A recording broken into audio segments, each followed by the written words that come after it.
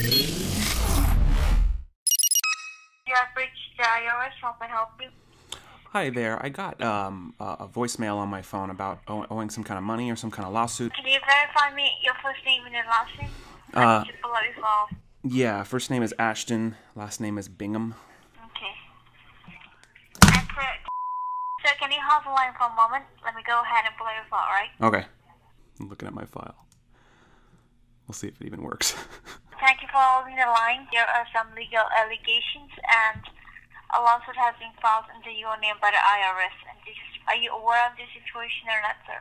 no, I had no idea. This is a federally recorded line and a three-way conference call with your Homeland Security, so make sure that you don't interrupt me while I'm providing you this information. So, sir, uh, an arrest warrant has been issued under your name due to tax evasion. We conducted an audit on your file for the year 20, uh, for the year between 2011 to 2016. There is an outstanding amount left for you to pay. Failure to do so will result in your arrest. Three thousand and five hundred dollars. Have you done this intentionally or have you done this by mistake? Oh, it was it was a mistake. I I I don't even know how this happened. I mean, like I paid a lot of taxes last year. I mean, I got so poor to the fact that in order to pay the taxes, I had to sell the gold plating on my G-Wagon. So things were getting really really tight. How do you file your tax? Like, uh, do you file it on your own or do you have an accountant, CPA?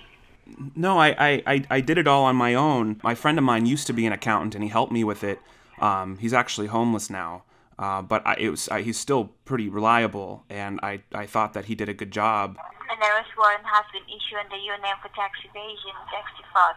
I, I think part of it too was the fact that my I started making a lot of money last year because I was I was I was really broke before that, and I made a bunch of money last year. I was actually what I was doing was I was buying expired saltine crackers and reselling them to underprivileged children, but in individual wrappers.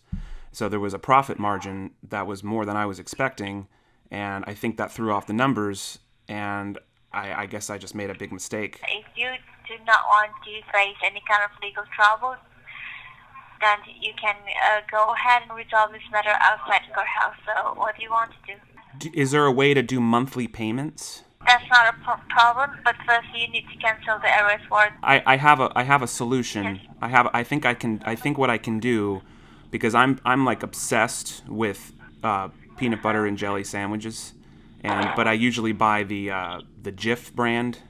So I'm thinking if I get the store brand and I cut out jelly completely, then I'll save like 350 a month. I could just send that to you directly, and I'll pay it off by like 2050. Is that gonna work? So you're gonna cut down on your peanut butter. what a bitch. What a fucking bitch. Hello, this is Officer James Marshall. I may not be available at my desk or away from my desk. So leave me your name and number and a brief message and I will give you a call back. Sorry, but the user's may- Officer Johnson. Yes, hello? Hi, I think you hung up on me, and uh, I just have one thing to say to you. I usually don't like to use this word because it's very disrespectful, but I think it's valid here. no, I think. know. No, you're gonna. I know what you're gonna say. Then. No, no, you really don't know what I'm gonna say. You have no idea. You, you don't have to say that. I already know what you're gonna say. What am I gonna say? It's an. I know it's an F word. It's not an F word. Will you just answer me one question? Yeah. Go ahead. Do you have any sympathy for what you're doing to people? At all? Do you have any idea why we are doing this kind of work? Why are you doing this kind of work? It's not because we love doing this, okay? Yeah, but do you realize how much you're hurting people? Oh no. I'm trying to make a living, okay? And you never know why we are doing this kind of work. You won't understand. Yeah, but there's a lot of ways to make a living that don't involve being a. Oh, I find a good job. You can find Thank a. you for your time. Bye. This got me all heated up. Hello, this is Officer James Marshall. Hello, this is Officer James Marshall. She's blowing me to voicemail. James Marshall's voicemail. Hello, this is Officer James Marshall. 202 241 9641, an active IRS scam number. It is Friday, October 20th, about 1.30 p.m. Pacific time. Have some fun.